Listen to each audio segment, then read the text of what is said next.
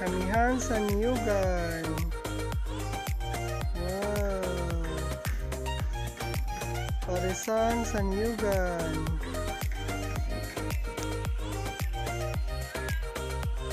And buko halo-halo Sanyugan.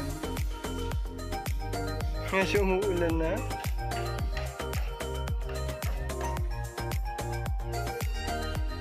So dito po yan matatagpuan sa Ginyangan, Quezon. Tapos meron dong mga kubo pwede kayong kumain.